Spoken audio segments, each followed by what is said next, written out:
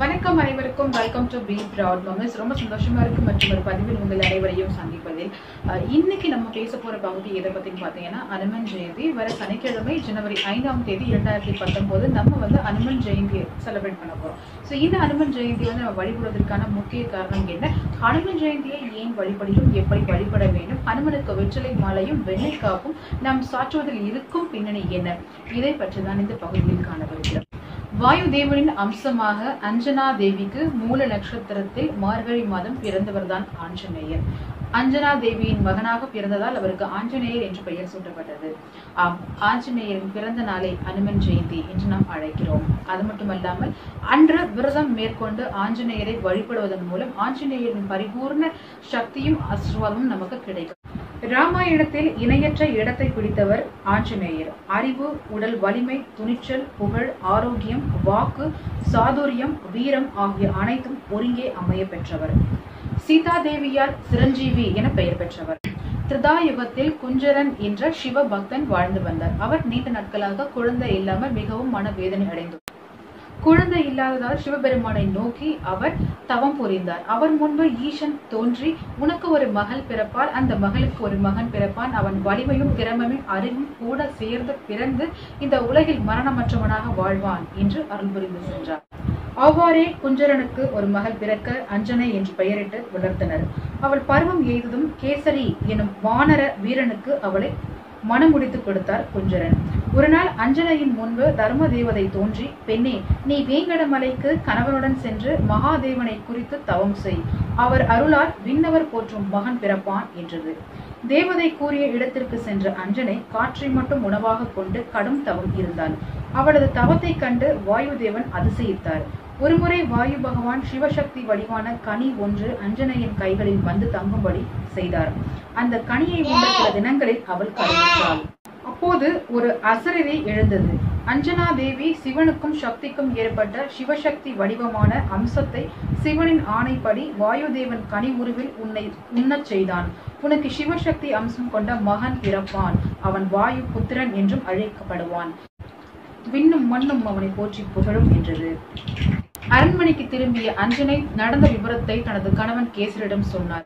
ஆம் நாட்கள் பல கடந்த. ஒரு மார்கழி மாத நன்னாளில் மூல நட்சத்திரத்தில் ஆஞ்சநேயர் அவதரித்தார். ஆம் அஞ்சனா தேவிக்கு அனுமன் என்ற அழகான ஒரு ஆண் மகன் பிறந்த அஞ்சனா தேவியின் மகனாக பிறந்ததால் அவருக்கு அனுமன் என்ற பெயர் சூட்டி அனைவரும் அழைத்தனர்.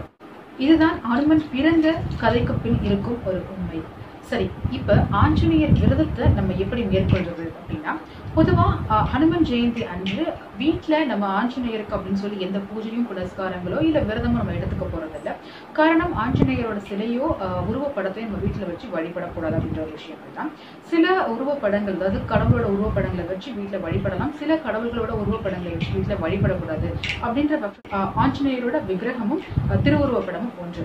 அதனால பொதுவாக அன்னைக்கு காலையில அதாவது வர சனிக்கிழமை காலையிலேருந்து கா- மாலை பொழுது வரைக்கும் பொதுவாகவே விரதம் இருந்து அனைவரும் அனுமனின் அர்ச்சனைகளை சொல்லி போற்றி ஹனுமன் கோவிலுக்கு சென்று நம்ம வடை மாலை சாற்றியோ வெற்றிலை மாலைகள் சாத்தியோ அல்லது வெண்ணெய் காப்பு சாற்றியோ ஆஞ்சநேயரை வழிபடுவதன் மூலமே ஆஞ்சநேயரின் அனைத்து ஆசிர்வாதமும் நம்மை வந்து சேரும்.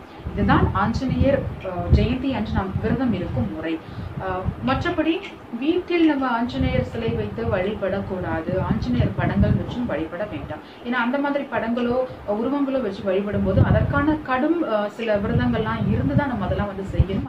அது மட்டும் இல்லாமல் ரொம்ப வந்து அஹ், சுத்தத்தோட நம்ம இருக்கணும் அப்படின்ற சில விஷயங்களும் இருக்கிறதுனால தான் வீட்டில் வந்து நம்ம ஆஞ்சநேயர் வச்சு வழிபடுறது கிடையாது. ஆஞ்சநேயர் ஜெயந்தி அன்னைக்கு பிரசாதமாக நம்ம ஏதாவது செஞ்சுட்டு கொண்டு போய் வீட்டில் வீட்லேயும் சரி கோவில்லையும் சரி நம்ம கொடுத்து அவங்களுக்கு நம்ம அன்னதானமாகவும் செய்யலாம். அந்த மாதிரி நீங்கள் செய்யறதா இருந்தால் எந்த மாதிரியான உணவுகளாக நீங்கள் எடுத்துக்கலாம் அப்படின்னு பார்த்தீங்கன்னா அவல் சர்க்கரை தேன் பானகம் கடலை இளநீர் முதலிய பொருட்கள் அனுமனுக்கு மிகவும் பிடிக்கும். அனுமன் மிக மனமகிழ்வார். ஹனுமனுக்கு வாளில் தான் சக்தி அதிகம். அதனால் தான் ஹனுமனுடைய வாளில் நாம் குங்குமம் வைத்து அர்ச்சனை செய்து போற்றி வழிபடுகிறோம்.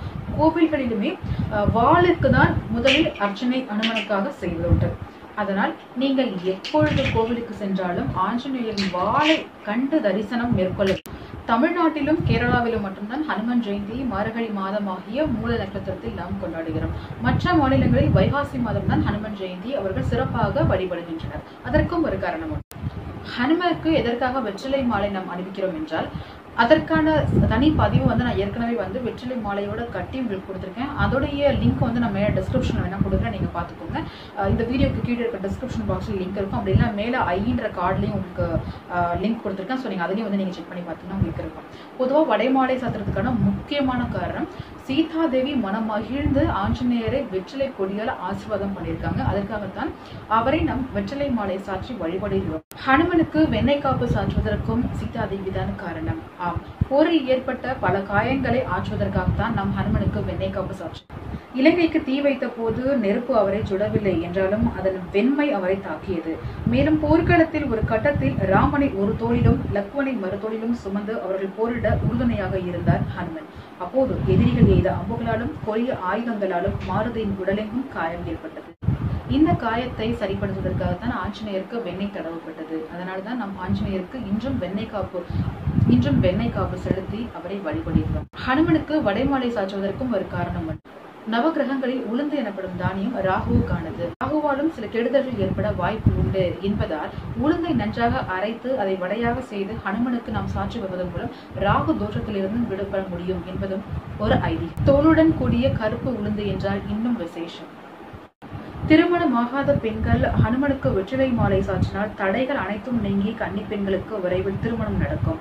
அவருக்கு ஸ்ரீ ராமஜெயம் எழுதி மாலை சூட்டி போட்டால் அனைத்து செயலும் வெற்றியாகவே முடியும். ஆஞ்சநேயருக்கு வெண்ணெய் சாற்றினால் குழந்தை பாக்கியமும் துளசி மாலை சாற்றினால் பாவங்களில் இருந்து நிவர்த்தியும் வடைமாலை சாற்றினால் வழக்குகளில் வெற்றியும் கிட்டும் என்பதும் ஒரு ஐதீகம். நன்றி. ஹனுமன் ஜெயந்தியை பற்றி என்னால் முடிந்த சில தகவல்களை நான் உங்களுடன் பகிர்ந்துள்ளேன். மீண்டும் மற்றும் ஒரு பதிவில் உங்கள் அனைவரையும் விரைவில் சந்திக்கும் வரை உங்களிடமிருந்து விடைபெறுகிறேன். இணைந்திருங்கள் என்றென்றும். என்னுடைய மற்ற பதிவுகள்லாம் நீங்கள் பார்க்கணும்னா உங்களுக்கு கீழே டிஸ்கிரிப்ஷன் பாக்ஸில் லிங்க் இருக்குது அப்படி இல்லைன்னா மேலே இருக்க ஐ கார்டு நான் பிளேலிஸ்ட் கொடுக்குறேன். அது மட்டும் இல்லாமல் நீங்கள் புதுசாக நம்ம சேனலை பார்க்குறீங்க அப்படின்னா மறக்காமல் கீழே இருக்க ரெட் கலர் சப்ஸ்கிரைப் பட்டனை ப்ரெஸ் பண்ணிக்கோங்க. நான் பேசிட்டு இருக்கேன் இல்லையா? இந்த வீடியோக்கு கீழே பார்த்தீங்கன்னா பி ப்ரவுட் மொமெண்ட்ஸ் நம்ம சேனல் நேம் இருக்கும். அதுக்கு பக்கத்தில் சப்ஸ்கிரைப்ன்ற பட்டன் இருக்கும். அதை ப்ரெஸ் பண்ணி சப்ஸ்கிரைப் பண்ணிக்கோங்க. கூடவே பக்கத்தில் கோயில் மணி மாதிரி ஒரு சிம்பிள் இருக்கு இல்லையா? அதையும் வந்து ப்ரெஸ் பண்ணி நீங்கள் கிளிக் பண்ணி வச்சுக்கோங்க. அப்போ தான் நான் அடுத்தடுத்து போடுற வீடியோலாம் உங்களை வந்து ரீச் ஆகும்.